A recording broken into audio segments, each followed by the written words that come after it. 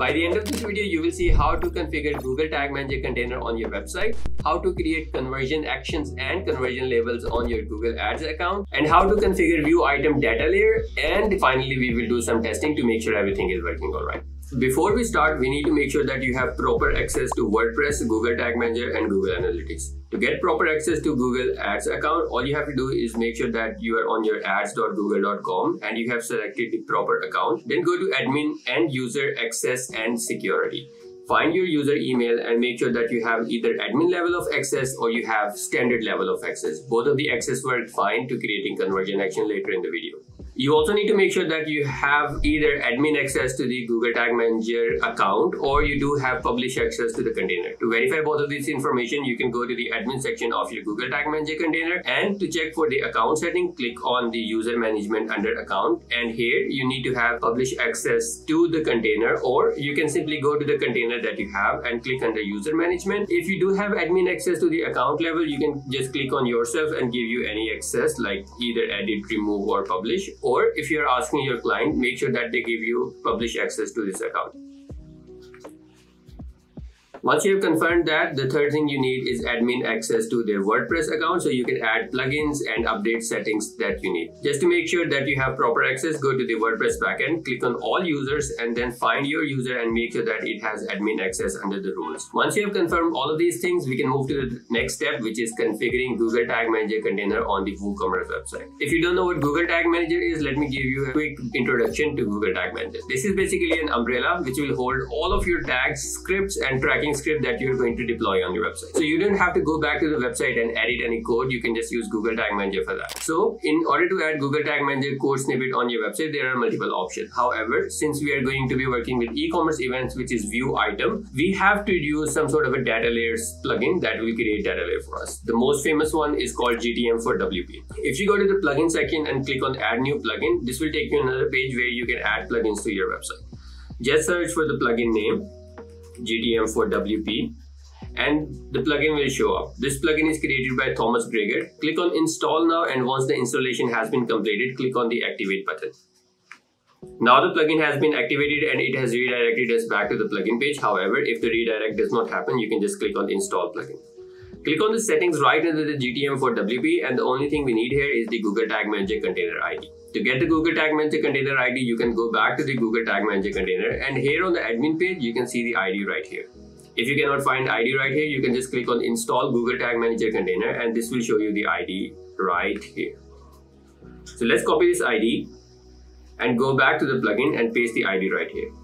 Let's hit on save changes just to make sure that these changes that we have created, they are actually published. There is one minor issue with this plugin is that as soon as you hit save changes, this will change the container code from on to off. So make sure that the container code is always set to on and then hit on save changes again. Great. They should have ideally added Google Tag Manager container across the pages of the website. However, it's really good to make sure that everything is working. So let's just go back to the Google Tag Manager container, go to the workspace tab and then let's just click on the preview button. Once you will click on the preview button, this will give you an option to connect the debug window with our website. This temporary debug window will help us see what kind of events are firing on the website and later with the debugging. Great. Once the debugging window has been connected to your website, you can just see using this Google Tag Legacy Chrome extension what kind of containers are firing on your website. Since we only have one Google Tag Manager container, we can see that the tag is fine. As long as this tag ID here is green or blue is fine the only thing we are looking for is should not be red or yellow. You can also verify the same information from this bottom snippet which says the tag manager has been connected and once you go back to the debug window you should see all of the event under this container. If you have more than one Google Tag Manager container or more than one accounts you will see multiple container here. However since we only have one we are seeing one container. Now our Google Tag Manager container is working fine. Now we have to make sure we get some way to track the view item event. That is whenever user goes to a particular product page, we should be able to track that. Let's go to the backend of the WordPress website and click on integrations. On integration, you will see an option for WooCommerce. Let's just select track e-commerce event and scroll all the way down and select the option for clear object before new events and then hit save. Doing this one simple thing should add the data layer on your website. Now let's just make sure that the view item data layer is properly working. Let's go to our website and select any of the products that we have. Great, now we have loaded this product and if you go back to the debug window, right here we can see an event which is called view item. If you expand this API call, you can see that it has all sorts of information such as currency, value, item ID, and all the good things that we need. Great. Now we have all the things that we needed. Now the next step is to create the conversion action for Google Ads so that we can track this event inside Google Ads account. Now let's just go to our Google Ads account, select goals, and then click on summary. Once you go to this page, this is where you can manage all the conversion actions that you have on your website. Since we need a new conversion action, let's click on new. And the method that we are going to use is Google Tag Manager and website. So let's just click on website. Let's add the URL of the website right here. Let me copy this URL and paste it right here and hit snap. Great. Uh, we have to create a manual conversion action. So let's click on manual. We don't have any specific category for view item list events. So usually I like to keep it under the others category.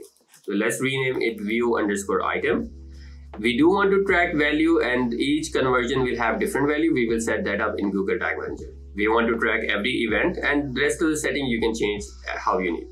So let's hit done and let's click on save and continue. Doing this one step should give you the conversion IDs and the conversion labels that we need. So let's just go to tag manager and copy this conversion ID and then we are also going to copy this conversion label.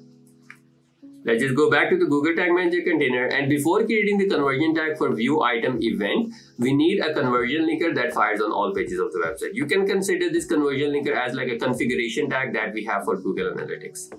So let's select all pages and then let's select conversion linker that will fire on all the pages of the website. Let's rename it at Google Ads conversion linker. Great, let's hit save. Now we have successfully added the conversion linker tag. Let me open this debug window side by side so we can see what kind of events are firing on the web page and it would be much easier for us to create events right here. The first thing we need is a trigger because we don't want this view item event to fire on all the pages of the website. So let's just go to the triggers tab and create a trigger that is specifically going to fire whenever the custom event is view item. So let's click on new and the type of the trigger we are looking for is custom event. Let's copy this name from here and we can paste it right here. Great. To rename this event, we can call it custom event and view item. Awesome. Now we have renamed the event and this is the trigger that we are going to use for other things. We also need some other information such as currency, items array and value. So let's create variables for this one. Since we already have all of this information inside the data layer, we can create data layer variable for this thing. Let's create the first data layer variable which is e-commerce.currency Great. Let's rename this to DLV e-commerce.currency. Now we have to create the same thing for value. So let's create another data layer variable which will track the value parameter. Let's rename this to DLV e-commerce.value. And the last one we need is for the items array. So let's just create that one.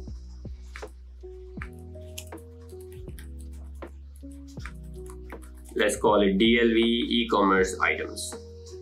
Perfect, we have all the variables that we needed for this event so we can maximize this screen. Go back to the tag section and create the conversion action that we need. Let's click on new and since we have already created the new trigger, I'm going to select that. And for the tag type, the first tag that we need to create is the Google Ads conversion tracking. So let's select conversion tracking. The first thing it needs is the conversion ID. So let's copy the conversion ID from the Google Tag Manager Let's create a constant variable for this one too because constant variables are always good so we don't have to copy and paste the ID again and again. So let's rename it to Google Ads conversion ID and let's hit save. Great, now we have to add a conversion label here. So let's copy this conversion label and go back to the Google Tag Manager and create a new variable for this one. Let's rename this to Google Ads conversion label and this one is for view underscore item. Great, let's hit save on this one. For the conversion value, we already have created a variable which is DLV e-commerce.value, so I'm going to select that. We don't have transaction ID when we are doing the view item event, however, we do have the currency ID. So let's select the currency array.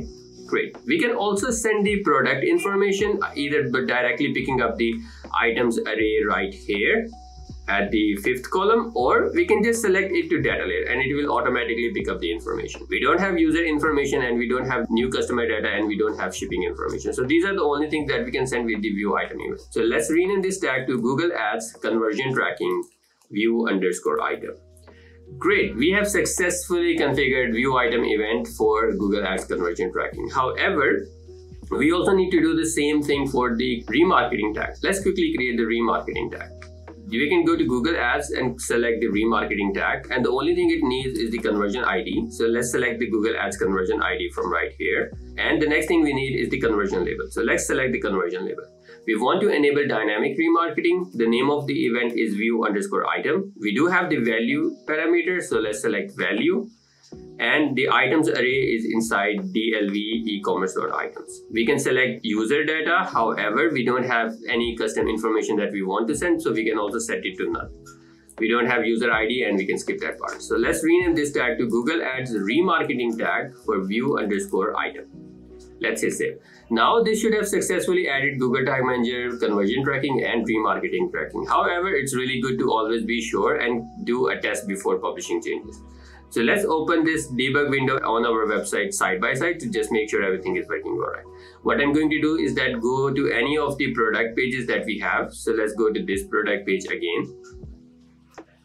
And once we are on this product page, you will see that the event are here. And once you go to the view item list, you can see that the Google Ads conversion tracking tag has fired and the view item tag has fired. You can also see that there is a new container on the top, which says that the conversion event has been tracked. You can also verify the same information by going to this tag assistant window and you will see that we have fired the conversion tag and it is the same conversion ID. It has the value, it has the currency parameter. If you want to see more information, you can just go to URLs and then click on this button, which will make sure everything is pretty. And then you can see all the things that we are sending with this purchase event. We are sending the title of the page. This information is coming inside from the items array that we have. Now we have tracked all the information that we needed for view item event. The only thing is left is to publish the changes. So let's just quickly go ahead and make sure the changes has been published. So let's add tracking academy and then write g gads view item event. Great.